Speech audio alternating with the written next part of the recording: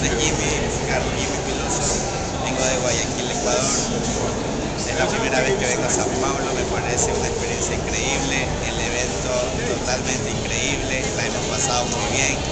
Bueno, no alcanzamos eh, alimentación y hospedaje, estamos durmiendo en un hotel en el centro de Sao Paulo, pero estamos pasando muy increíble y, y esperamos seguirlo pasando bien.